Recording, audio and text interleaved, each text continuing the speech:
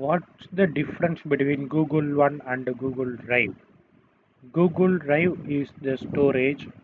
Google One is a subscription plan that gives you more storage to use across Google Drive, Gmail, Google Photos, plus with Google One. You can get extra benefits and you can share your memberships in your family. How you can use Google Drive does not change. So don't have to worry about losing or transferring anything. In detail, how your own existing storage works with Google. Google One is a subscription plan that gives you more storage to use across Google Drive, Gmail, and Google Photos. Your Google One membership will replace your plan, current plan, and not to add it. How much storage you get with a standard Google account?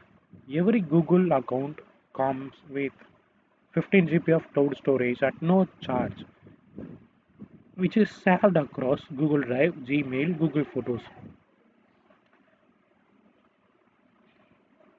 How much storage comes with a Google One plan?